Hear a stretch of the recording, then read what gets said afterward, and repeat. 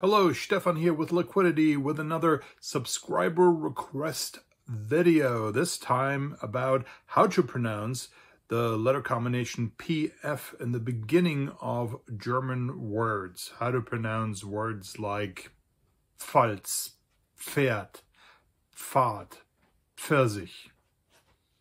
Loquidity. A very special thanks to my subscriber Carrie Hill for the idea to this video.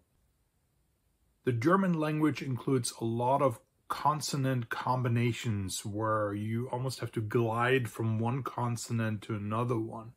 PF in the beginning of words is a good example for that. Not so much if it's in the middle of a word. For instance, the word Hopfen, uh, you actually do kind of pronounce the P and the F uh, separately.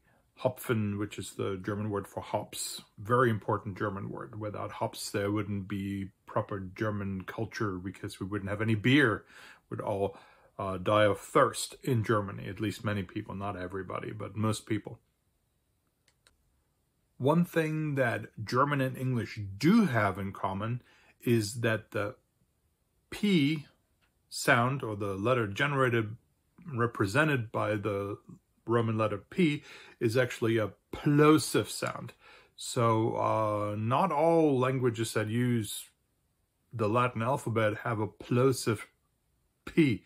And plosive means that you actually have a little puff of air. You, you produce a little puff of air as you are saying the letter P. P. So how do you combine then a plosive P with an F sound with a F. So with the plosive P, my lower lip connects with the upper lip. With the F sound, it connects with my front teeth. So how do I get from a P to an F? I put my lower lip already underneath my teeth, but I close my upper lip over to connect with whatever little bit of my lower lip is still exposed. So, and then I create a plosive. So, f, f, f. So it is a f plosive. There are a good number of very commonly used words in German that actually do start with pf. There are not that many, but there are commonly used ones. A lot of them are commonly used ones. And I'm just going to read them to you and explain a little bit what they are, what they mean. And I'm going to practice pronouncing and I'm going to encourage you to practice along with me. So the first one is die Pfalz. And Pfalz in English means Palatinate. That can be a reference to one of several regions in Germany, uh, like for instance, Rhineland-Pfalz, which is one of our states. Uh, that's the most prominent example. Uh, but Pfalz can also mean, actually historically, originally meant a palatial fortress where the emperor of the Holy Roman Empire of German nation would hold court. The second one is very important in German culture today. It's called das Pfand. It really means deposit. If you buy a beverage in Germany, you will always pay a little bit extra, not for taxes, but as a deposit. Money that you will receive back once you return the container, which are usually glass or plastic bottles. Encouraging people to recycle, encouraging people to reuse. A lot of the glass bottles in Germany are actually reused. They're, they're, they're washed in special facilities and then refilled and then given to customers again. And a lot of them are reused hundreds of times. Next one is important for cooking. Die Pfanne, pan, a frying pan. Uh, I could add maybe Pfannkuchen here, which is pancake, maybe. Der Pfarrer, that's a pastor or priest die Pfarrerin. That would be a female pastor or priest. And in German, we actually do use the feminine terms for professions for the same reason that, at least in North America, we don't use them. So in Germany, they're trying to be inclusive by giving different versions of, by providing the different gender specific versions of the uh, profession rather than using the one that was originally used just for males. Das Pferd, a horse. Der Pfeffer, pepper. And this refers to the spice pepper, not to the fruit, like for instance, a bell pepper or a chili pepper. For those, we have different words. Well, for chili peppers, like spicy peppers, smaller ones, we have die Pfefferschote, and then for bell peppers, we actually have the word paprika, which is spelled just like paprika, like the, the spice paprika.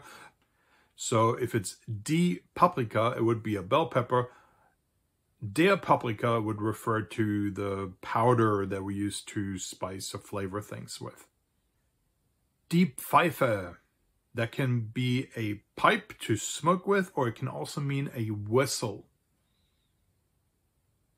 Die Pflege.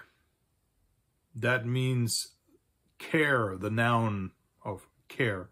And it can be used in all kinds of different contexts here.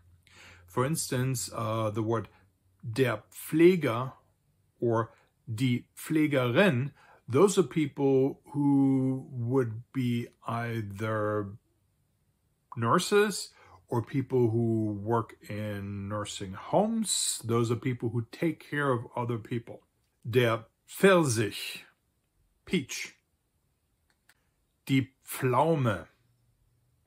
There's also a uh, southern German and Austrian term for that, Zwetschge, which is not much easier to pronounce because we have zv in there.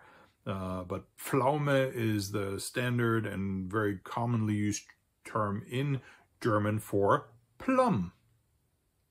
Die Pflanze, a plant, uh, a biological plant, not a plant where things are made or things are produced or something like that. It's uh, it's used in German just for the thing that grows. Das Pflaster, two different meanings. Both of them have something to do with covering something up. So the first one is a band-aid. So it can mean a band-aid to cover up a wound, but it can also mean pavement or the pavers, like concrete pavers or, or uh, any other kind of material like stone pavers used to pave a sidewalk or a street even. The next one is an agricultural term, der Pflug, plow. It's also used for snow plows, by the way, so it's not just agricultural, but originally it's an agricultural term. Die Pflicht, very common word, die Pflicht, used to describe any kind of duty or responsibility that a person has. So for instance, if you are required by law to do something, like for instance, to buckle up while you're driving in your car while you're riding along in a car. And in German, we actually have a word for that.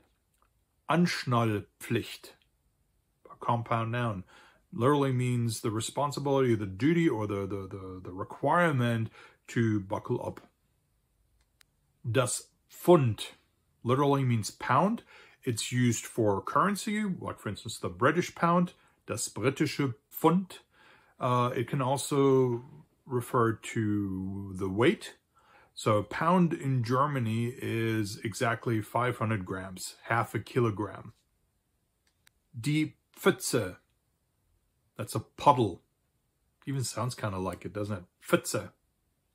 I also have three verbs for you. The first one is pfeifen. So we have die Pfeife, which is the whistle or the pipe. And pfeifen doesn't mean to smoke, it means just to whistle. We had the word die Pflege, care, or der Pfleger or die Pflegerin, people who take care of people. Uh, we also have the verb pflegen, to care for someone or something, or to take care of something. It has that connotation of mending, of making things better.